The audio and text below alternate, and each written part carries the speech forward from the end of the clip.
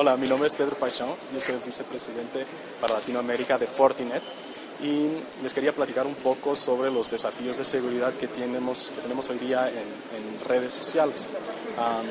el crecimiento exponencial de las redes sociales por todo el mundo como sea Facebook, como Twitter y muchas otras, ah, ha llevado a que muchos de nuestros usuarios en, dentro de las corporaciones y nosotros mismos en la casa, nuestros hijos, tengan una cuenta en estos sistemas. Entonces tenemos empresas como Facebook, como Twitter, que tienen 400, 500 millones de usuarios dependiendo de quién está reportando esos números. Y al tener una herramienta que es tan usada, tan utilizada por tanta gente, claro que siempre va a haber impactos en la seguridad de las empresas e incluso, y esto es una novedad de la computación, em, de nuestra seguridad personal. Hay muchos ejemplos em, de personas que pusieron sus fotos en Facebook de un viaje a Europa y después se vieron secuestradas, raptadas y gente pidiendo ah, resgates porque piensan que tiene mucha plata. Esas cosas que no ocurrían antes. ¿sí?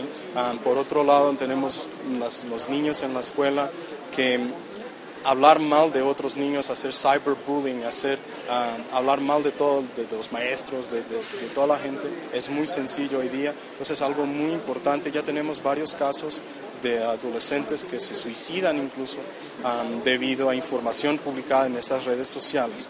Y también dentro de las empresas, en el aspecto corporativo, de la seguridad en redes sociales, tenemos todos nuestros empleados o un gran porcentaje de nuestros empleados hoy día ya tiene cuentas en esos sistemas. Y es muy sencillo publicar información, publicar información que muchas veces es confidencial y que ni siquiera tengan la noción de lo que están haciendo. Entonces, la seguridad y poder tener controles y mecanismos de información, de capacitación de los usuarios, de entrenamiento, es súper importante para que las empresas puedan tener un buen uso y un buen control sobre lo que está propagado y lo que se está haciendo eh, por parte de sus empleados en estas redes. ¿no? ¿Qué impacto tiene, por ejemplo, para nuestras organizaciones si un empleado publica un reporte confidencial de números, ah, de facturación, de algún problema en un producto? Ah, tenemos casos ah, bastante conocidos como el problema de, de, las antenas en los iPhone 4 que salió digamos, en un website y al día siguiente ya estaba propagado por Twitter, por Facebook, por todo, y Apple sí vio necesidad de contestar a todos esos problemas y tener un impacto significativo de retornar todos los iPhones, de comprar capas a los usuarios, etcétera, Fueron millones y millones de dólares que se tuvieron que gastar. ¿Qué pasa si una cosa a este nivel ocurre con un producto de nuestras empresas? ¿Sí? ¿Qué están diciendo nuestros competidores en estas redes sociales sobre nuestros productos? Que están diciendo nuestros usuarios, cómo lo monitoramos, ¿sí?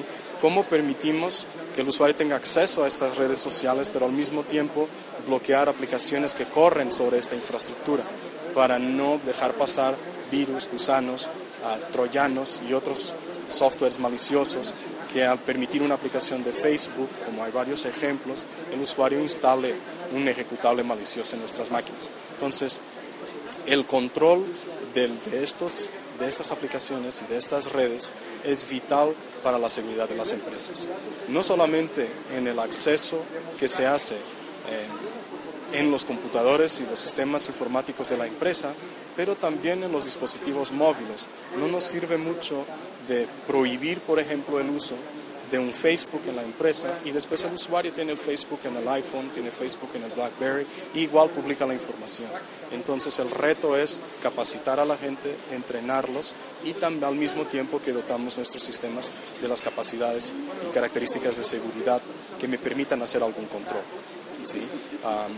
cosas tan básicas como identificar qué información es confidencial dentro de la empresa para que el usuario sepa que no puede publicar este documento. ¿sí?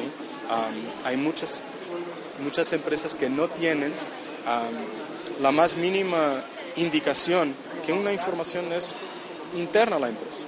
Y el usuario muchas veces trabaja con estas informaciones todos los días y ya no le da la importancia que tiene. Eso nos pasa a todos nosotros. Eh, trabajamos con algo todos los días, nos acostumbramos, lo que era importante deja de ser porque pasa a ser cotidiano. Entonces, para que el usuario después agarre ese documento y lo publique, es un paso muy corto. Entonces, ¿qué información le estamos dando? ¿Sí? ¿Qué mecanismos tenemos en la red de, por ejemplo, poder bloquear esas transferencias de archivos, esa publicación de información? estoy evitando la fuga de informaciones para estas redes o para otros sistemas web.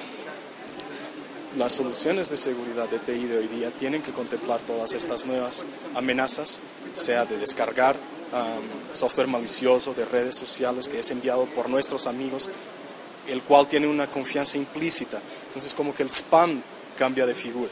Ya no es alguien desconocido que me está mandando algo, es alguien que yo conozco, que es mi amigo, está en mi lista de amigos y que me está enviando.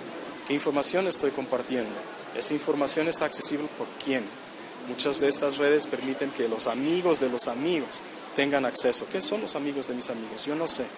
¿sí? Seguramente si alguien va a estar publicando algo, esa, esa información puede ser usada de alguna forma que nos puede ser dañosa.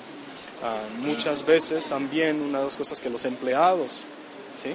no, y para terminar, que los empleados no se enteran, que todos los usuarios, no solamente empleados, todos nosotros, hoy día cuando vamos a una entrevista para trabajo, es la probabilidad que la, la persona haga un query en una red social para ver nuestro perfil está arriba ya del 60%. Entonces, ¿qué información tenemos ahí que nos puede dañar nuestra carrera profesional? Entonces, esos son los retos que nos traen las redes sociales a las tecnologías de información. Muchas gracias.